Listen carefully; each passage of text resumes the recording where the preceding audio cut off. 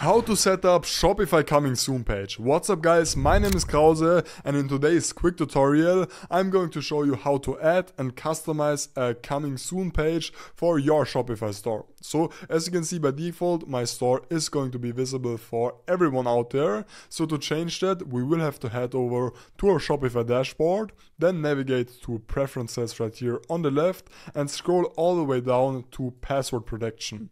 So we will actually have to restrict the access uh, from our visitors, just tick this button right here, put in your password. Now I'm just going to put in any random password. It doesn't really going to matter. And then you can also display a message to your visitors. I'm just going to name this, this is a test. So in this case, I'm then going to simply save this.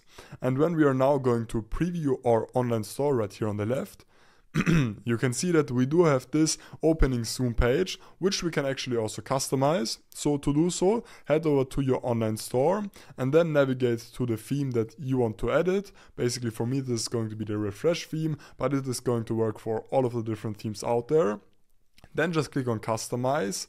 And then right here on top, you will have to navigate to others and then to password right here. So we can actually get started with changing the header right here. So in this case, I'm going to change the color scheme so that my logo is going to look better in this. Then we can actually also add a background image onto this.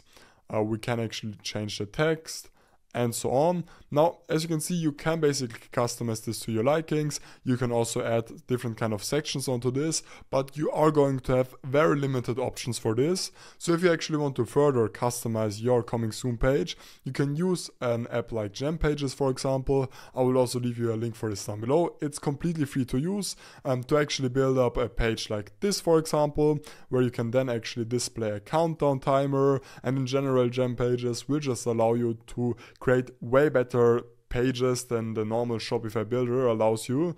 So basically I will just leave you a link for this down below if you actually do want to use this. If you found this video helpful, make sure to like and subscribe and as a small bonus, I'm right now giving out my Shopify course for completely free, so make sure to check that out using the link down below.